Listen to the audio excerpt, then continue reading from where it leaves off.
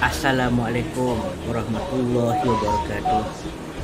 Selamat sejahtera kepada semua muslimin dan muslimat di seluruh Malaysia, Indonesia, Brunei Darussalam dan juga negara-negara lain di seluruh dunia.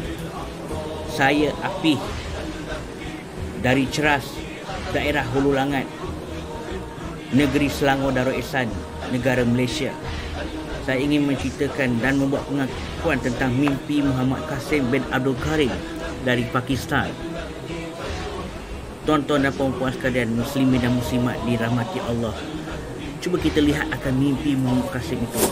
Mimpi Muhammad Qasim itu beliau telah menerima mimpi sejak daripada kecil lagi sehingga sekini dan mimpi itu banyak memberikan kita tentang peringatan tentang apa yang berlaku di akhir zaman persiapan kita dan kita dengan mimpi itu kita akan terus mendekatkan diri kepada Allah Taala.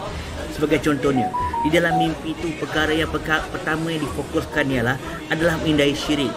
Saya nak tanya kepada tuan-tuan dan perempuan adakah syirik itu adakah iblis dan syaitan itu menyeru kepada kita agar mentauhidkan Allah Taala? Dah tentu tidak kan? Dan dalam mimpi Muhammad Qasim juga Allah telah mendedahkan rancangan gerak kerja musuh-musuh Islam untuk cuba menghapuskan umat Islam. Kalau mimpi ni ada kaitan dengan Yahudi, takkan Yahudi pula yang membocorkan rancangan mereka?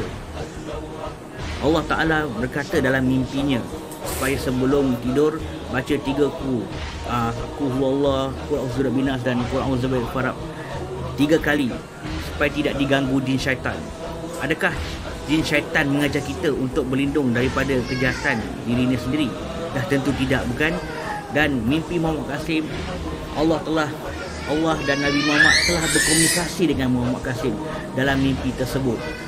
Cuba kita perhatikan mimpi yang uh, mimpi-mimpi Muhammad Qasim. Mimpi Muhammad Qasim ni seperti orang yang telah mendapat petunjuk, petunjuk dari Allah Subhanahu Wa Taala dan petunjuk itu mestilah datangnya daripada mimpi. Mimpi ilahi ataupun mubasyirah sabda Rasulullah sallallahu alaihi wasallam berbunyi sesungguhnya kerasulan dan kenabian itu sudah terputus. Maka tidak ada lagi nabi dan rasul setelahku Abnas Ibnu Malik berkata hal itu memberatkan para sahabat.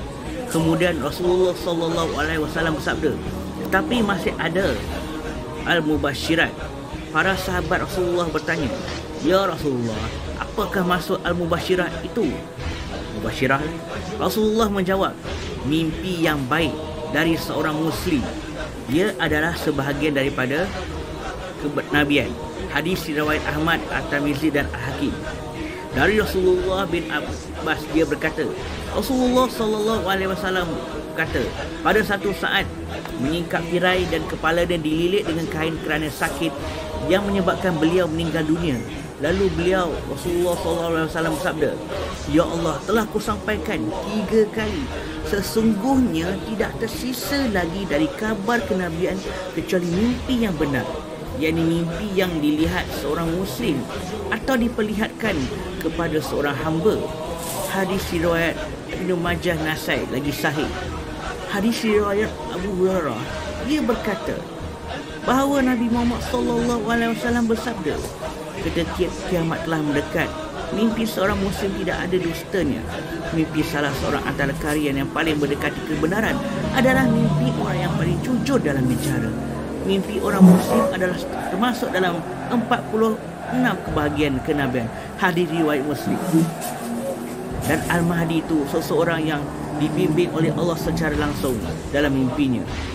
Baiklah tuan-tuan dan perempuan Cuba lihat Keadaan bumi uh, Dunia yang berlaku pada hari ini.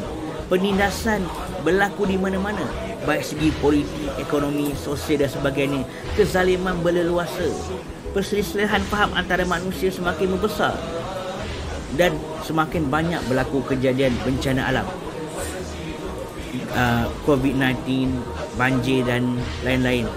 Jadi Adakah belum tiba masanya untuk kalian memikirkan tentang mimpi Muhammad Qasim bin Abdul Karim